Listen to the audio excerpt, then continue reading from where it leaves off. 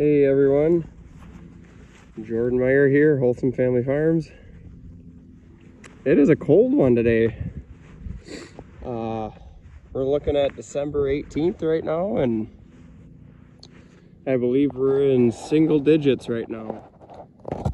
Yeah, I believe we're in uh, single digits right now with the regular temperature.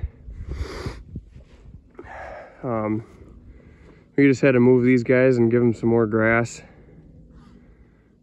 could kind of tell that they were searching for feed, eating in areas where we had already grazed them before and stuff like that. So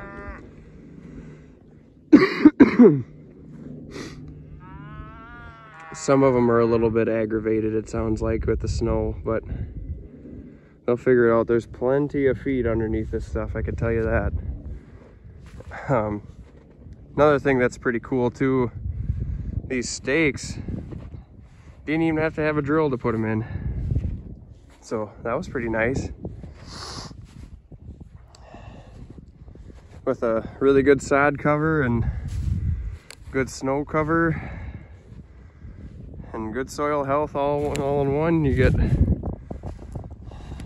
open ground yet. It's not frozen so it's pretty nice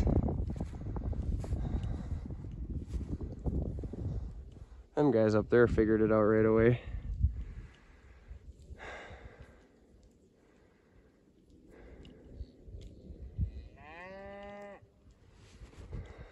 Beautiful day. It's just that, boy, it's a little bit chilly.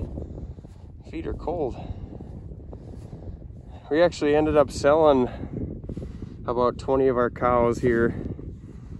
Um, we're gonna be focusing more on doing stockers on our farms and then we're gonna still have our finishing steers that we're gonna keep and finish out for our grass-fed beef program so that should be fun. That way we won't have to have as much going on in the wintertime that way and be able to focus more time on our all our other enterprises and not be quite so busy. So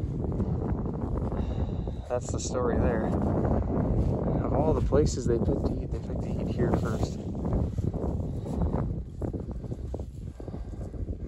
How you doing guys?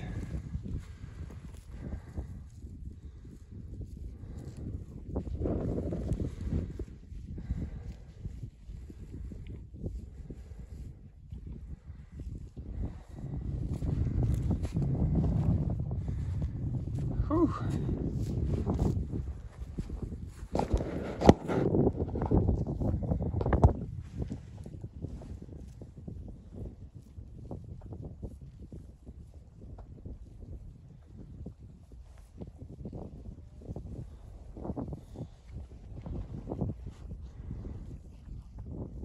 All right guys, real quick here before I freeze my hand off. Here's our winter water. It's a jug water.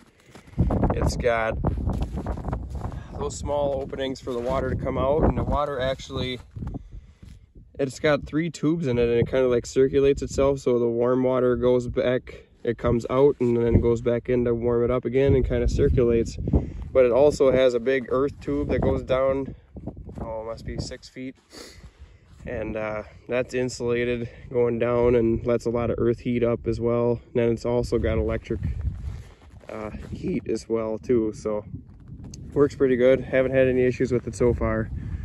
But cattle can come back and get their water this way and we just strip graze away from the water. But with that i am freezing my hand off so everybody have a great day. Thank you for all you new subscribers. Take care